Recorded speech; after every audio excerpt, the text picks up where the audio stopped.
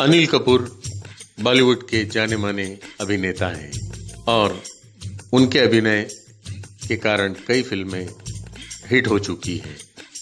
उन्होंने हाल ही में अपना बासठवां जन्म दिवस मनाया और इस मौके पर उनकी आने वाली एक फ़िल्म, एक लड़की को देखा तो ऐसा लगा का पहला पोस्टर जारी किया गया।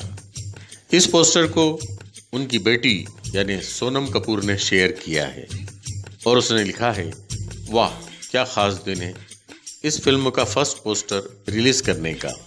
Happy birthday, daddy. यह फ़िल्म बाप और बेटी के रिश्ते को समर्पित है।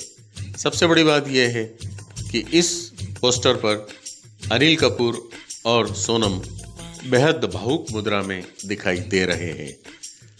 उल्लेखनीय है कि अनिल कपूर सदाबहार अभिनेता के रूप में जाने जाते हैं। अनिल को विश करते हुए रवीना टंडन द्वारा भी एक बड़ी अच्छी बात कही गई है। उन्होंने लिखा है, हमेशा यंग, हैंडसम और एवरग्रीन रहने वाले अनिल कपूर को जन्मदिन की शुभकामनाएँ। आशा करती हूँ कि आपका हर दिन एकदम झकास रहेगा।